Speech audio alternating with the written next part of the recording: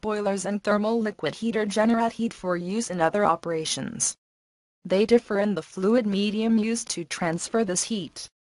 The industrial boiler shown is used for dry cleaning. Steam boilers heat water to produce steam, which is then used to generate energy or heat for other processes. Water is converted to steam in the boiler. This steam travels through the heating apparatus, which can be any piece of equipment that requires steam for operation. The cooled steam is then condensed into water that returns to the boiler, to start the cycle again. There are three main types of steam boilers, fire tube, water tube and cast iron. In fire tube boilers the combustion gases travel within the tubes, to heat the surrounding water. In water tube boilers, the water travels inside the tubes.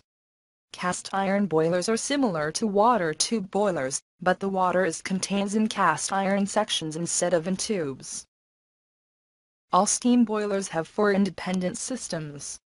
The feed water system supplies water to the boilers, the fuel system transports the fuel, the draft system controls airflow for fuel combustion, and the steam system collects and controls the produced steam. The most commonly used fuels are coal, natural gas and oil.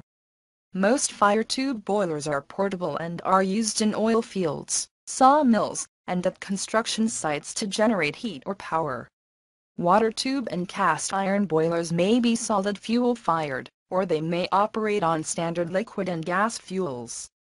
The water tube boiler at Wright operates on gas fuel, and is part of a cogeneration plant, where heat from the fuel is simultaneously converted into electrical and thermal energy.